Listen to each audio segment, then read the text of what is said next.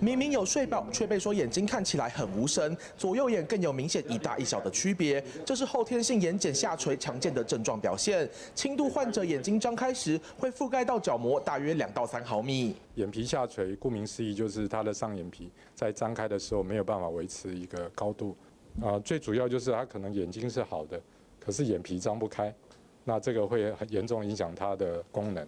好，那轻微的话就是。它会别人看起来就是一副无精打采的样子，那外观上就会有大小眼。后天性眼睑下垂原因有神经性病变、睑肌无力、外伤或老化以及水肿发炎，共四大类。依据不同类型服药或进行手术治疗。眼皮它的提眼睑肌是由动眼神经还有交感神经来控制，所以只要影响到呃动眼神经或者是交感神经，不管是中风、糖尿病。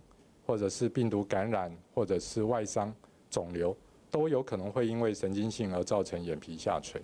眼睛是灵魂之窗，不及早治疗，不但影响外观，更有可能会对视力造成伤害。医师建议平时预防方法要注意心血管的保养，并尽量避免揉眼睛，减缓眼睑附近肌肉群老化的速度。大爱新闻黄一杰、徐英豪台北报道。